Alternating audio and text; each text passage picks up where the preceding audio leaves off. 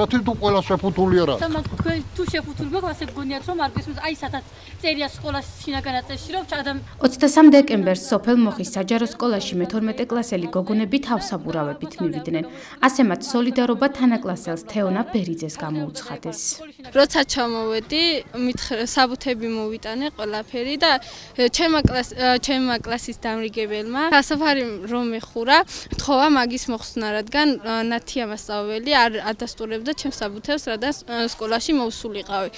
როცა მე ვთხარი რომ არ მოიხსნი ამ თავშესაფარს მეთქი, მითხრა რომ წამოდი დირექტორს დაელაპარაკე და როცა შევედი დირექტორს აუხსენი ყველაფერი და მან მითხრა რომ სახელმწიფო სკოლა არის ესაო და არ შეიძლება რომ თავსაფარი გეხუროსო. სასწავლო დაწესებულებაში არ შეიძლება თავსაფრით ტარებაო, მაგრამ ანუ თუ შესაძლებელია შოთა რუსთაველის სახელმწიფო უნივერსიტეტში იარონ სასწავლებლად სტუდენტებმა თავსაფრით, თუნდაც ჯავახიშვილის უნივერსიტეტში მხოლოდ ქართველი მუსლიმები კი არ სწავლობენ, იქ ხო ჩამოდიან სხვადასხვა ქვეყნებიდან მუსლიმანები და იღებენ მართლაც რომ ძალიან კარგ განათლებას და ვითომ თუნდაც რა გახდა ეს მოხის სკოლა რომ ასეთი მსგავს წესებს თვითონ იმუშავებს.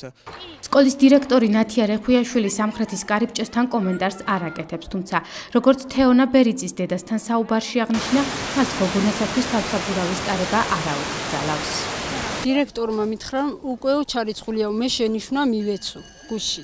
რაზე? ხა რაზე და გავაცანი უფლებებიო რომ როგორ უნდა მოვიდე სკოლაში და თეონა მიიღო მისი გადაწყვეტილება მეც ვწემ პატივს ადგილობრივი მართლმადიდებელი მოსახლეობა სკოლის დირექტორის პოზიციას ამართლებს და მუსლიმი მოსწავლეების საქციელს პროვოკაცია დაფასებს.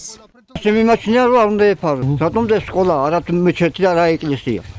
დირექტორმა ყოველთვის თუ შემჩნევა არის, მოსწავლეს ყოველთვის უნდა მიცეს შემჩნევა. დიახ. ამ შემთხვევაში? ამ შემთხვევაში მე ახლა რა ვიცი, თავშელებით უნდა დაჯდნენ, ქუდებით უნდა დაჯდნენ, თუ იმითი რა ქვია, სხვა რაღაცა უნდა, როგორც მოსწავლეს შეეფერება, უნდა ეჯდნენ ისე გათო.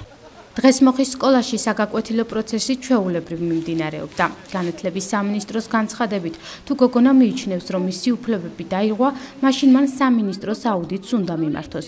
თუმცა მანამდე მომხდარს უფლებადამცველი არასამთავრობო ორგანიზაციები, ადამიანის უფლებების სწავლებისა და მონიტორინგის ცენტრი და საქართველოს დემოკრატიული ინიციატივა შეისწავლის. Thank you.